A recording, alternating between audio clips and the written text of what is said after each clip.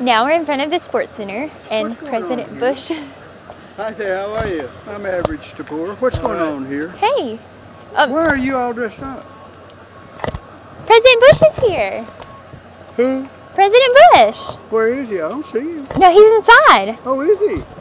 What are these people doing? They're waiting to get their picture made with him. Oh, can I get in that line? I don't know. Do you have a photo pass? I think so. Well, if you have a photo pass, then Who, you who are you? I'm Grace McMillan. I'm a student here.